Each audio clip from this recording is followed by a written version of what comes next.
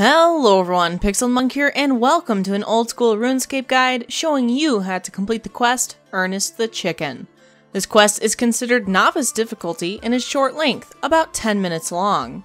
The requirements for this quest include the ability to defeat or run away from a level 22 skeleton. The required items for this quest include Spade, which can be obtained during the quest. Although not required, it is highly recommended that you also have an Amulet of Glory.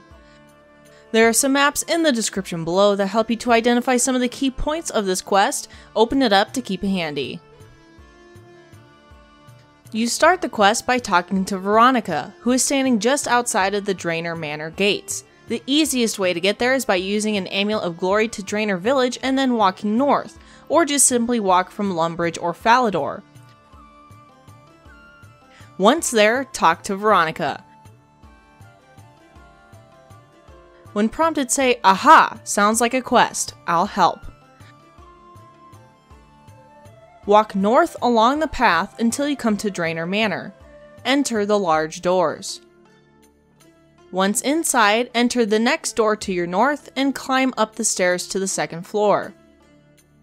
Then use the spiral staircase nearby to reach the third floor and talk to Professor Oddenstein, who is in the room to the east.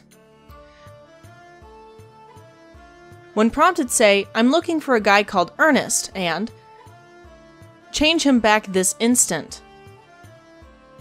The professor will tell you that Ernest has changed into a chicken and needs parts that were stolen from him to change Ernest back. For the first item, go back down the spiral staircase. Just to the south of the staircase will be a blue box containing fish food. You must walk into the eastern hallway and then south to get into this room. Pick up the fish food. Next, go back down to the ground floor. Enter a small room that is just to the northwest of you. You must enter the kitchen to get here. Pick up the poison, which looks like a green bottle. Once you have both items, use the fish food on the poison to create poisoned fish food. Now you must exit the manor, however you cannot use the front door, so you must walk to the most eastern room of the manor. Before you use the door to go outside, you can pick up the spade that is in this room if you don't already have one. Exit and walk all the way around the manor until you come across a fountain. This is just southwest of the building.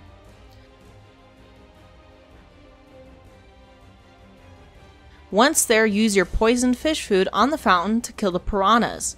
After a few seconds, search the fountain to find a pressure gauge. Walk back slightly north past the leprechaun until you come across a compost heap. Search the heap to receive a key. You must now enter the manor again, so use a front door nearby and enter the main room with a staircase. Just behind the staircase to the north is a very small room with a level 22 skeleton inside. You must collect the rubber tube that is on the ground.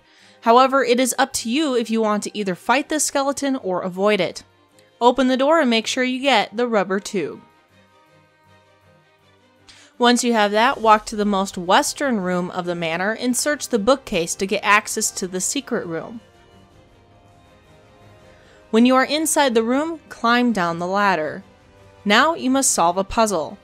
If you haven't already, I highly suggest that you open up the map that is in the description to help with this next part.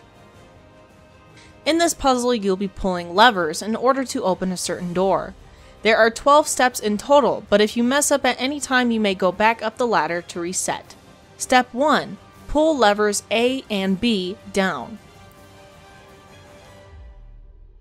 Step 2 Enter door 1.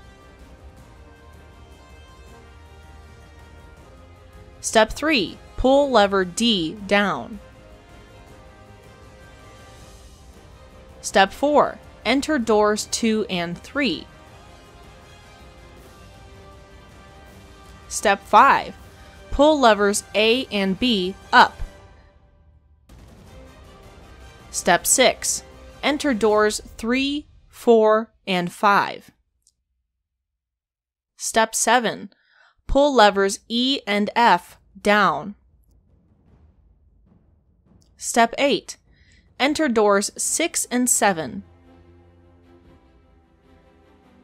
Step 9. Pull lever C down. Step 10. Enter doors 7 and 6. Step 11. Pull lever E up.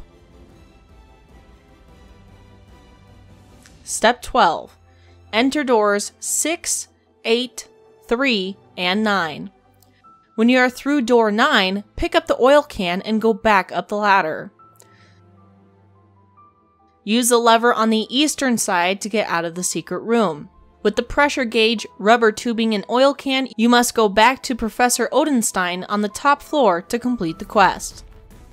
Congratulations, you have received 4 quest points and 300 coins. Thank you so much for watching. I hope that you enjoyed this guide and found it helpful. If you did, please subscribe for more, and I'll see you next time.